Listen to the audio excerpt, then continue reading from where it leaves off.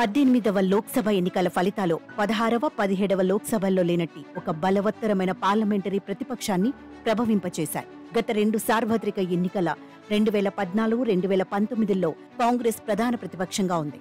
అయితే ఆ సార్వత్రిక ఎన్నికల్లో కాంగ్రెస్కు వరుసగా కేవలం నలభై నాలుగు యాభై రెండు సీట్లు మాత్రమే లభించాయి. తత్కారణంగా లోక్సభలో ప్రతిపక్ష నేత హోదాను పొందలేకపోయింది. ఇతర బీజేపీయేతర పక్షాలకు కాంగ్రెస్ కంటే ఇంకా తక్కువ సీట్లు మాత్రమే లభించాయి. తత్ఫలితంగా బీజేపీ ఎన్నికలకు పూర్వమే ఆ పార్టీతో పొత్తు పెట్టుకున్న పార్టీలు అప్రకటిత మిత్రపక్షాల సంఖ్యాబలం సభలో అయిన దానికి కానిదానికి అవి చేసిన ఎడతెగని రభసలో ప్రతిపక్షం వాణి వినిపించకుండా పోయింది. మరింత స్పష్టంగా చెప్పాలంటే విపక్షం గొంతును పూర్తిగా నొక్కివేశారు. పాలక ప్రతిపక్షాల సంఖ్యాబలాల్లో తీవ్ర తేడా ఉన్న దృష్ట్యా మహోన్నత పార్లమెంటరీ సంప్రదాయాలను సభలో ఎలా నిలబెట్టుకోవాలనే విషయమై విద్యుక్త ధర్మస్ఫూర్తితో ఆలోచించలేదు.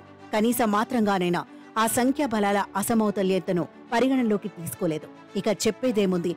సభ కార్యకలాపాలు సరిగా సాగలేదు. చర్చలు జరగకుండానే బిల్లులు ఆమోదం పొందడం సాధారణమైపోయింది. ఈ శోచనీయ వాస్తవం సభలోని ప్రతిపక్షాలకే కాదు సభ వెలుపలి చైతన్యశీల పౌరులకు అర్థమయ్యేందుకు ఎంతో కాలం పట్టలేదు. పార్లమెంటు ఉభయ సభలు సమున్నత రీతిలో పనిచేయడం లేదని నిష్పాక్షిక పరిశీలకులు ఎందరో వాపోయారు.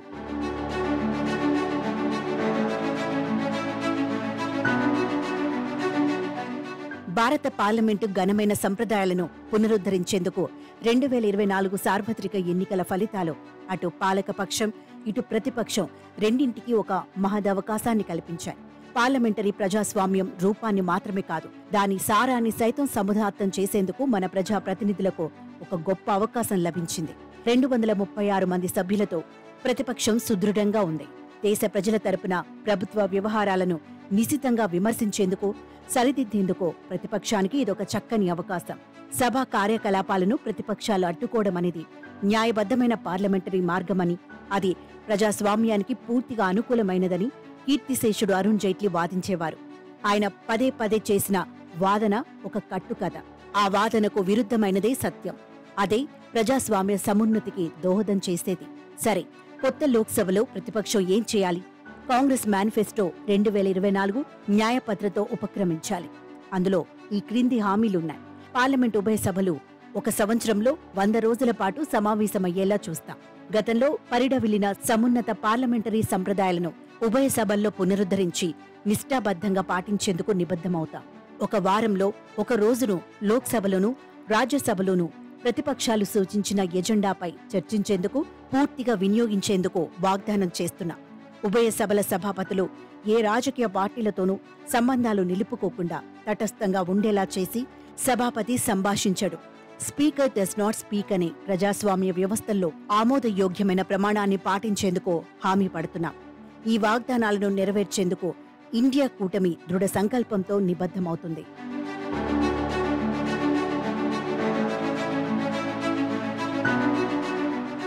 పార్లమెంటు ఉభయ సభలు ఏడాదికి వంద రోజుల చొప్పున సమావేశమవడం వారంలో ఒకరోజు సభా కార్యక్రమాలను ప్రతిపక్షాల ఎజెండాపై చర్చకు పరిమితం చేయడం తటస్థ సభాపతులు తదితర అంశాలపై బీజేపీకి ఎటువంటి ఆక్షేపణలు ఉండడానికి వీలులేదు నరేంద్ర మోదీ ఆయన కారణంగా భారతీయ జనతా పార్టీ ఎన్నికల ఫలితాలు కలిగించిన దిగ్భ్రాంతి నుంచి తేరుకున్నట్టు కనిపిస్తున్నారు. బీజేపీకి మూడు వందల డెబ్బై ఎన్డీఏకు నాలుగు వందలకు పైగా సీట్లు తప్పక వస్తాయన్న పాలకపక్ష శ్రేణుల ఆశలు ఘోరంగా వమ్మయ్యాయి. బీజేపీకి రెండు వందల నలభై సీట్లు మాత్రమే దక్కగా ఎన్డీఏకు లభించిన సీట్లు నాలుగు వందల లోపు మాత్రమే ఉన్నాయి. అయినప్పటికీ బీజేపీ అగ్రనాయకులు విజయోత్సవాలు జరుపుకునేందుకు ప్రయత్నించారు. కానీ పార్టీ కార్యకర్తలు వారి ఆనందోత్సాహాలలో పాలు పంచుకోలేకపోయారు. మైనార్టీ సర్కార్ అనే ముద్ర బీజేపీ నాయకత్వాన్ని వెంటాడుతూనే ఉంటుంది. దానిని తొలగించేందుకు వారు శతదా ప్రయత్నిస్తారనడంలో సందేహం లేదు. ఈ ప్రయత్నాలలో భాగంగా వైఎస్ఆర్సీపీ నలుగురు సభ్యులు ఆప్ ముగ్గురు ఆర్ఎల్డి ఇద్దరు జేడీఎస్ ఇద్దరు ఏజీపీ ఒకరు ఏజేఎస్యు ఒకరు హెచ్ఏఎం ఒకరు ఎస్కేఎం ఒకరిని బీజేపీ ప్రలోభపెట్టే అవకాశం ఉంది. పన్నెండు మంది సభ్యులు గల జనతాదళ్ పార్టీ కూడా అందుకు మినహాయింపు కాబోదు. ఈ పార్టీలలో కొన్ని ఇప్పటికే ఎన్డీఏలో భాగస్వాములుగా ఉన్నాయి.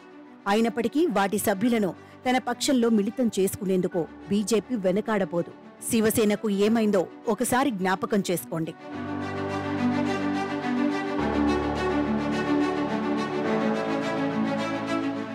రాజ్యాంగం పదవ షెడ్యూల్లో అనేక లొసుగులు ఉన్నాయి. వాటి ఆలంబనతో చిన్న పార్టీల ఎంపీలు సురక్షితంగా పార్టీ ఫిరాయింపుకు పాల్పడవచ్చు. తన సంఖ్యాబలాన్ని పెంచుకునేందుకు ఆ లొసుగులను బీజేపీ ఉపయోగించుకోకుండా ఉంటుందా?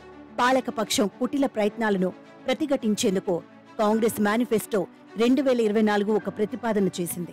రాజ్యాంగం పదవ షెడ్యూల్ను సవరించి ఫిరాయింపులకు పాల్పడిన వారు ఆటోమేటిక్గా శాసనసభ లేదా లోక్సభ సభ్యత్వానికి అనర్హులు అయ్యేలా చూస్తాం. చెప్పవచ్చిందేమిటంటే రాజ్యాంగ పదవ షెడ్యూల్కు ప్రతిపక్షం ఒక సవరణను ప్రతిపాదించి తీరాలి. పాలకపక్షం ఆ సవరణ బిల్లును వ్యతిరేకించిన పక్షంలో ప్రజలు అధికార పార్టీని తప్పకుండా గ్రహిస్తారు. ప్రజాస్వామ్యాన్ని భ్రష్టు పట్టించేందుకు పాలకులు పూనుకుంటున్నారన్న వాస్తవం వారికి విశదమవుతుంది. సరే ఆర్థిక వ్యవస్థ నిర్వహణలో బీజేపీ పాలన చాలా దుర్బలంగా ఉందన్న విషయాన్ని మరి చెప్పనవసరం లేదు. మౌలిక సదుపాయాలను ఇతోధికంగా అభివృద్ధి పరచడంపై ఎవరికీ ఎటువంటి అభ్యంతరం ఉండబోదు. అయితే కొత్త ఉద్యోగాల సృష్టి ద్రవ్యోల్బణాన్ని అదుపు చేయడమే ఆర్థిక విధానాల లక్ష్యంగా ఉండి తీరాలి. నరేంద్ర మోదీ ప్రభుత్వం ఈ రెండు విషయాలలోనూ విఫలమైంది. తత్కారణంగానే ఓటర్ల తీర్పు బీజేపీ ఎన్డీఏకు వ్యతిరేకంగా వచ్చింది. మరి బీజేపీ నాయకత్వం తన విధానపరమైన పొరపాట్లను సరిదిద్దుకుంటుందా లేదా అనే విషయం పార్లమెంటులో రాష్ట్రపతి ప్రసంగం బడ్జెట్లో స్పష్టమవుతుంది.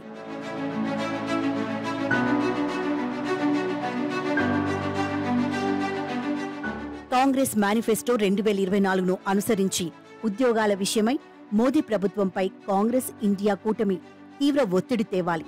మేము గుత్తాధిపత్యాలను ఆశ్రిత పెట్టుబడిదారీ విధానాన్ని వ్యతిరేకిస్తున్నాం. ప్రభుత్వం నుంచి ప్రతి వ్యాపారవేత్త పారిశ్రామికవేత్తకు లభ్యం కాగల ఆర్థిక సహాయం భౌతిక వనరులు వ్యాపార అవకాశాలను ఏ ఒక్క కంపెనీ లేదా వ్యక్తి మాత్రమే పూర్తిగా స్వాయత్తం చేసుకోవడానికి వీలు లేకుండా చర్యలు చేపడతాం. పెద్ద సంఖ్యలో ఉద్యోగాలను సృష్టించే వ్యాపార సంస్థలకు అనుకూలంగా మా విధాన ప్రాధాన్యాలు ఉంటాయి. కేంద్ర ప్రభుత్వంలోనూ దాని అనుబంధ ప్రభుత్వ రంగ సంస్థలలో ముప్పై లక్షల ఉద్యోగ ఖాళీలను భర్తీ చేయాలి. కార్పొరేట్ కంపెనీలు పన్ను రాయితీలు పొందేందుకు షరతుగా కొత్త ఎంప్లాయ్మెంట్ లింక్డ్ ఇన్సెంటివ్ పథకాన్ని ప్రారంభించాలి. పట్టణ ప్రాంతాలలో మౌలిక సదుపాయాల పునర్నిర్మాణంలో పట్టణ పేదలకు ఉపాధి కల్పించేందుకు పట్టణ ఉపాధి హామీ పథకాన్ని ప్రారంభిస్తాం. గ్రామ పంచాయతీలు పురపాలక సంఘాల ద్వారా అమలయ్యే జల వనరుల పునరుద్ధరణ బంజరు భూముల పునరుజ్జీవ కార్యక్రమాలను ప్రారంభించి నిరక్షరాసులు అనిపుణ యువతకు ఉపాధి కల్పించాలి. ప్రతిపక్షాలు తామే ప్రభుత్వమన్న రీతిలో ప్రవర్తించాలి. పద్దెనిమిదవ లోక్సభలో తమకు లభించిన అవకాశాన్ని సంపూర్ణంగా ఉపయోగించుకొని ప్రభుత్వానికి పాలన సాగవలసిన తీరుతెన్నులను నిర్దేశించాలి. మెజార్టీ కొరబడిన బీజేపీ ప్రభుత్వం కొత్త శక్తివంతమైన ప్రతిపక్షానికి ఎలా స్పందించనున్నదో గమనించటం చాలా ఆసక్తికరంగా ఉంటుంది.